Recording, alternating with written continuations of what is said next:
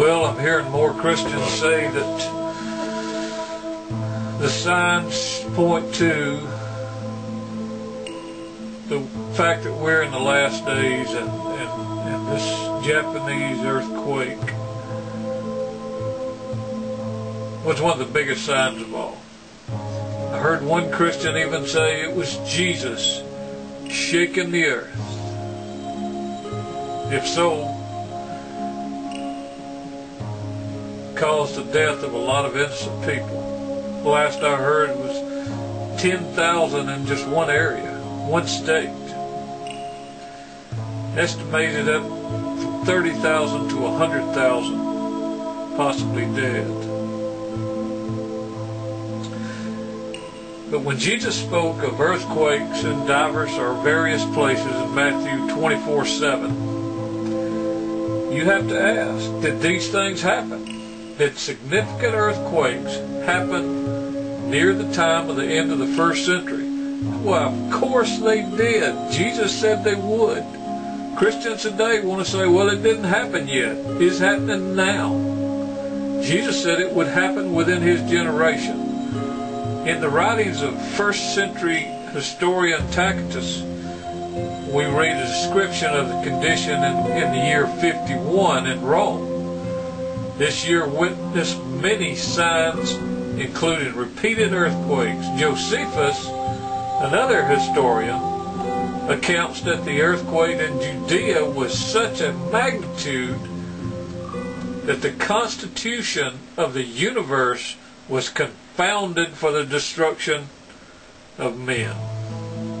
He also wrote that earthquakes were common and uh, a common calamity and indicated that God himself had brought them about for a special purpose. This is someone writing within that generation Jesus warned of earthquakes.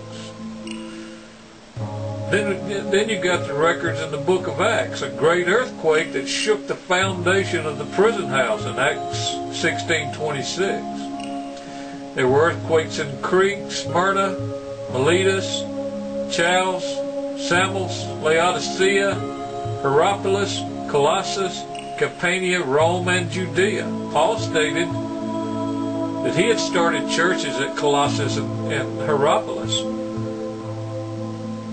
and uh, these two cities, along with Laodicea, uh, suffered great earthquakes around the year 61. Still within that time frame, Jesus prophesied about or predicted. Laodicea was, was rebuilt soon after the earthquake, but Colossus and Hierapolis weren't.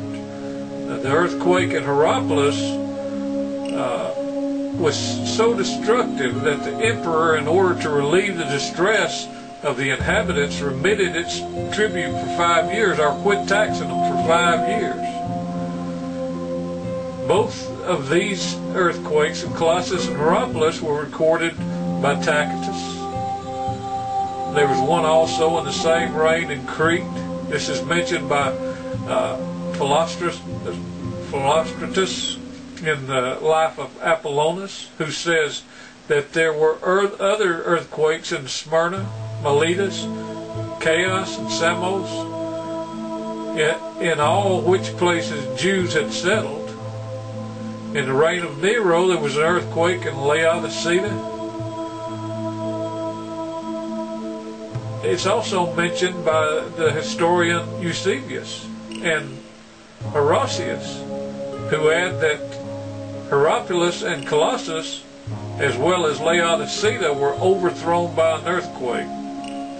There was also one in Campania in the reign, in this same reign of, of this, both Tacitus and uh, Seneca speak, and another at Rome in the reign of, reign of Galba, recorded by uh, uh, Suetonius. All these things happened, and then on one dreadful night, when the Idumeans were excluded from Jerusalem a short time before the siege of Rome, I mean uh, the siege of Jerusalem by Rome, A heavy storm, says Josephus, burst on them during the night. Violent, violent winds arose, accompanied with the most excessive rains, with constant lightnings, most tremendous thunderings, and with dreadful roarings of earthquakes.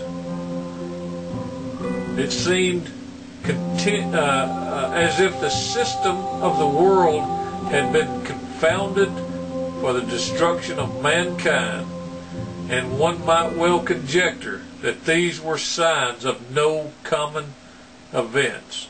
All this occurred in Jesus' contemporaries. So when Christians get on here and say this earthquake and, and other things that are happening are what the Bible speaks of, it proves they don't study. These things happened within the time frame Jesus said they would. All you people are doing is, is